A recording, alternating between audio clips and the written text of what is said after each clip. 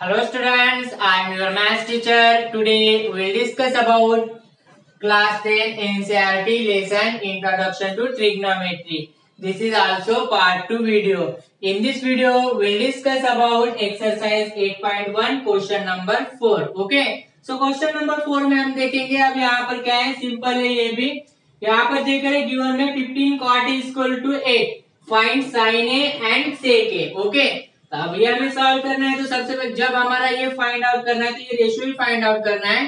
तो सबसे पहले रेशियो फाइंड आउट करने के लिए हमें क्या है?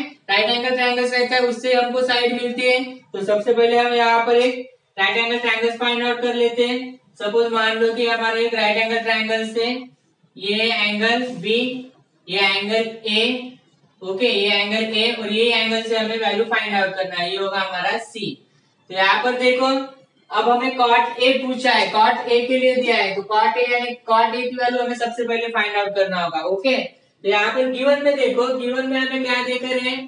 कि 15 cot A is equal to eight A तो कॉट ए इक्वल टू कितना होगा? Cot A equal to eight by ये 15 इसके डिनोमिनेटर में आएगा। हो गया ये हमें कॉट ए की वैल्यू मिल गई है एट बाय फिफ्टीन अब आपको एक बात मालूम होना चाहिए कि कॉट यानी क्या होता है? कॉट का रेशियो क्या रहता है? बेस बाय परपेंडिकुलर ये आपको पूरा बायट कर लेना है, पूरा मतलब आपको ध्यान में रखना है ओके सो ये कॉट की वैल्यू कितना रहेगी? बेस बाय परपेंडिकुलर तो ये होगा आपका बेस तो बेस कितना है यहाँ पर? एंगल ए के लिए.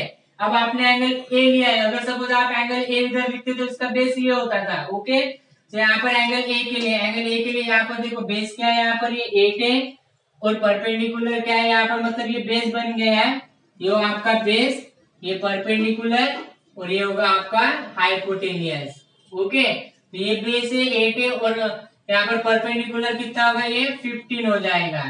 तो यहाँ पर आपको अगेन यहाँ पर देखो, मैंने पहले बता दिया राइट एंगल ट्रायंगल से अगर टू साइड्स गिवन है तो आपको थर्ड साइड फाइंड आउट हो जाएगी बाय पाइथागोरस थ्योरम में। और यहाँ पर आपको पूरे वैल्यूज़ मालूम होना, तब जाके आपका रेशियो फाइंड आउट होता है। अब यहाँ पर देखो ये एक बेस मिला है परपेंडिकुलर है। तो हम क्या करेंगे यहाँ पर? हाइपोटेनियस फाइंड आउट कर लेंगे। अब हाइपोटेनियस फाइंड आउट करने के लिए उसी तरह से सॉल्व करना होगा। क्या होगा? इन ट्रायंगल एबीसी में। इन ट्रायंगल एबीसी में यहाँ पर एंगल बी इक्वल टू क्या है? 90 डिग्री है। Angle B equal to 90 degree right angle triangle है। सो क्या होगा? By Pythagoras theorem by Pythagoras theorem Pythagoras theorem से इजीली सॉल्व कर सकते हैं। यहाँ पर सबसे पहले क्या होगा इसकी एसी की वैल्यू फाइंड आउट कर लो। एसी का हाइपोटेनियस तो पाइथागोरस थ्योरम क्या बोलता है? Hypotenuse side square plus side one square plus side two square तो हाइपोटेनियस कितना है यहाँ पर? AC square is equal to side one square मतलब A B square side two square यानी क्या होगा? बीसी स्क्वायर नाउ अब वैल्यूज़ फाइंड आउट कर लो तो ये क्या होगा? A C square A B square की वैल्यू कितना है? एट स्क्वायर प्लस, अब यहाँ पर बीसी स्क्वायर की कितना है? फिफ्टीन है तो ये फिफ्टीन स्क्वायर हो जाएगा। नाउ इसको सॉल्व करो तो ये क्या होगा A C square equal to eight square sixty four plus fifteen square कितना होगा two twenty five now add कर लो यहाँ पर तो क्या होगा ये? A C square equal to sixty four plus two twenty five ये फोर प्लस फाइव नाइन ये सिक्स प्लस टू एट ये टू टू एटी नाइन हो गया है। अब यहाँ पर देखो A C square equal to eighty nine तो ये किसका स्क्वायर मतलब किसका स्क्वायर रूट है? टू एटी नाइन का स्क्वायर रूट कितना आता है? सेवनटीन स्क्वायर यानी कितना होता है? टू एटी नाइन तो यहाँ पर क्या मिलेगा आपको? A C equal to seventeen मतलब सेवनटीन का स्क्वायर कितना रहता है यहाँ पर टू एटी नाइन तो यहाँ पर देखो आपको एसी की वैल्यू मिल गई है सेवनटीन एसी की वैल्यू मिल गई है सेवनटीन अब यहाँ पर सिंपली आपको क्या करना है? अब जो पूछा है वो फाइंड आउट करना है. तो सिंपल हो जाएगा आपको find sine A sine A find out करने के लिए तो साइन ए के लिए एंगल ए है। तो साइन का रेशियो क्या है यहाँ पर? Perpendicular by hypotenuse perpendicular by hypotenuse perpendicular क्या है यहाँ पर? बीसी है। और हाइपोटेनियस क्या है यहाँ पर? एसी है।